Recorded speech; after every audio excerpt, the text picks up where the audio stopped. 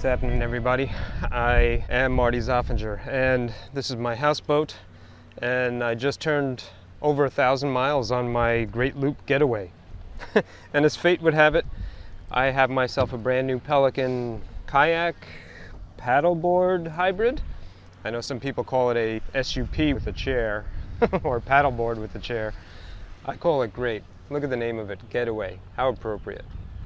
Yeah, I picked this up and I haven't been able to talk about it very much because it's been crazy navigating by myself on my 31 foot boat. But I'm here now in North Carolina. You can see I've got my flag flying and I'm going to be here for a week. So there's plenty of time for me to play with my new toy. Let me show you some of the features. First of all, if you want to go, you can paddle it or it comes with foot pedals and these are fins, not a propeller, which I happen to like a lot more myself. The chair is super comfy and it comes with a tiller handle here which will run the rudder and you can install this on either side of the boat. So that's pretty cool. The rudder is attached with five bolts. That's the same pattern as the Catch Power, which has a, like a transom mount. So I think in the future you'll be able to buy that transom mount and put a motor on this if you want, just like that, lickety split, piece of cake. So uh, it's got some bungees back here in the tank well, and it comes with a paddle holder right here, and these rails here have uh, mounts, so you can add something to that if you want really easy with a track mount, um, say a rod holder or a camera mount. This is a camera mount that I just screwed on there so I can do a little filming. Seems like I should have tightened that a little bit better, but all the stuff that Pelican did seems to be uh, nice and tight. I added a little bungee back here for my uh, PFD, but um, yeah, I like the boat. It's lightweight. If I'm gonna have a kayak on my liveaboard boat, it's gotta be somewhat small. And that kind of fits me because I'm a small fellow myself.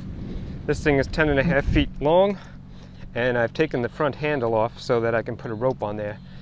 And this way I can just drop it over the rail and put it in the water easy peasy, which again, wouldn't be too possible with a bigger kayak, but with this thing it's a piece of cake. Because of course it's a TST, um, twin sheet thermoformed instead of rotomolded, which makes it lighter and blah, blah, blah. Anyways, let me put a rope on this, or a, um, sorry, a line. You call them lines on a boat. So I'm going to put a line on here and drop it over into the water and then we'll rig it up. We'll take it out for a test.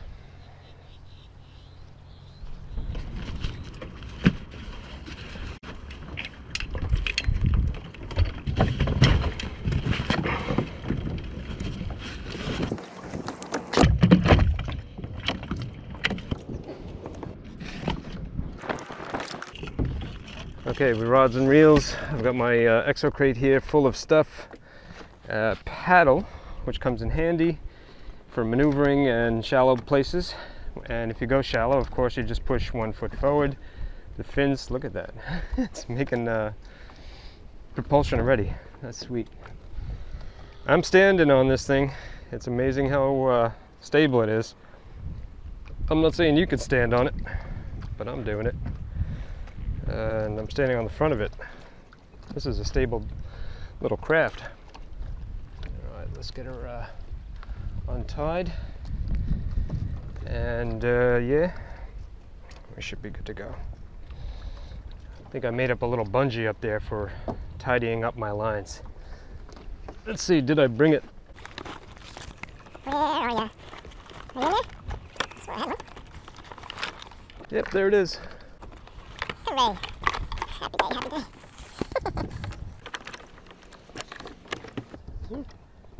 kind of works. All right, let's go. These uh, HD2 drives seem like they're uh, a lot more stout than uh, the first ones that came out. So whatever issues that there might have been in the past uh, have been resolved, that's for sure. I like the cup holder uh, that's right there. You got another one over there. It's a little too early. You could put a beer in there if you wanted, but um, I'm going to stick to water right now. Obviously you can bring stuff with you if you wanted to fish. And if you're going to go swimming, you can pull yourself up onto the boat really, really easily. So that's kind of neat. Let's see how she paddles. I got the pedals in the parallel position. That means the, the fins are straight down. They'll act like a dagger board.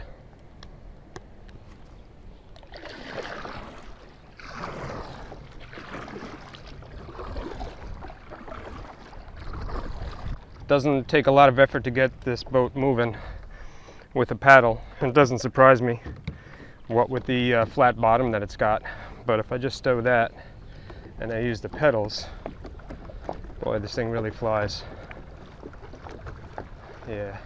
So now again, I've got the pedals one foot forward, one foot back, and that makes them hug the bottom and it'll steer really fast. You see that? I'm not even pedaling and it's turning. It's very responsive.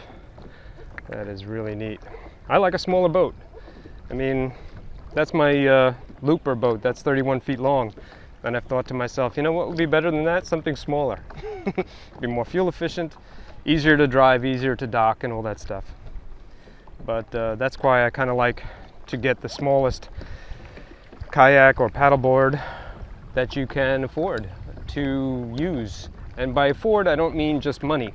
I mean, get something that is the smallest that you're comfortable on. If you're a big guy, obviously you need a bigger kayak. I'm 5'5", 150, 145. So I get away with small kayaks. You can see this thing's boogieing along pretty good. That's very nice. There's a sign over there that says no wake. I'm gonna have to slow it down a little bit. Oh my gosh. This is now probably one of the most affordable boats that has fins, you know?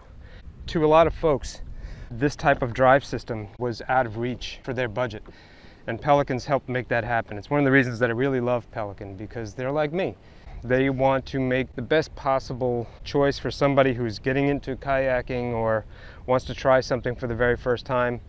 And I know that there are plenty of people who have been doing it for a long time that stick with Pelican. Anything that I've ever promoted on my channel, I did so because I believed in it. So for all you guys out there that think I'm just doing this as a commercial or something, then just know that if I didn't believe in these products, I wouldn't tell you to use them. Anyways, yeah, I'm gonna go over there. I'm gonna throw a lure, see if I can catch a fish.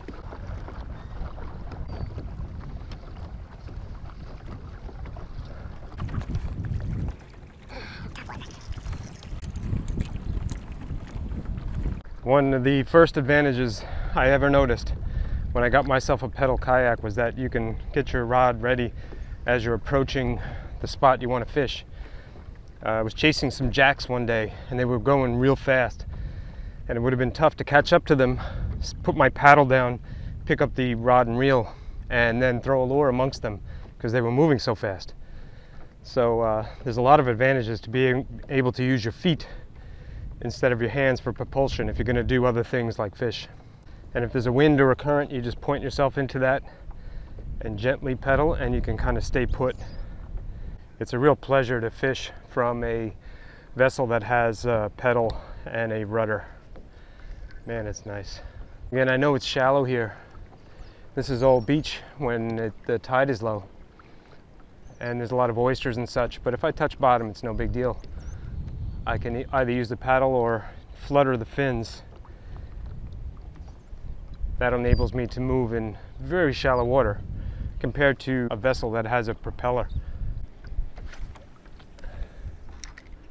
Oh, what a cast right on the grass. Come on, redfish, make my day. oh, look at the bait jumping. Wow. Something magical about being out on the water. Whether you're fishing or paddling or just hanging out with uh, buddies. And this is a pretty cool boat to do it with. That's for sure. If it was low tide, I could easily take the seat off. It just pops forward and uh, comes out of this thing easy peasy. No tools or anything needed. There it is, it's back in. How cool is that? Uh, for all the people that have been following my channel and are interested in any way that you could possibly help me, here's a way to do it. Go in the description below. I'll leave a link to Pelican Sport. Go there, have a look at this boat, look at the specs. You don't have to buy anything, but just going there will help me show Pelican that I'm spreading their word, which again I believe in with all my heart. So thank you guys for coming along and stay tuned because I can't leave well enough alone and I'll probably uh, modify this boat at some point. Oh yeah, I was going to uh, take this and put it up front the handle is so I can get some footage to end this video. And I forgot to mention how the front of this boat is really low to the water. So if you got to get in the water or you want to get in the water, which I don't really because it's starting to get windy and chilly, uh, but I'm gonna man up, I'm gonna get in, I'm gonna put this up front to get that shot for you guys. And I'll show you how easy it is to get back on the boat. Make sure I don't have my phone in my pocket or anything like that. Uh, you can also crab walk along, you know, like if you were fishing and you were in really shallow water. But I'll talk about that in another video.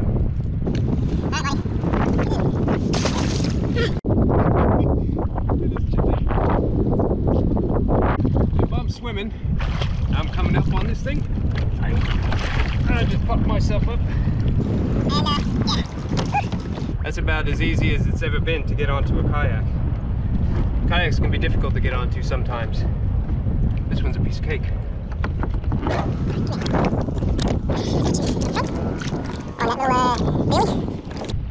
There it is. Cool. Now I'll get my B-roll and I'll get my butt back to the boat so I can dry off before the rain comes. Not that it matters now because I'm already wet. See you guys later.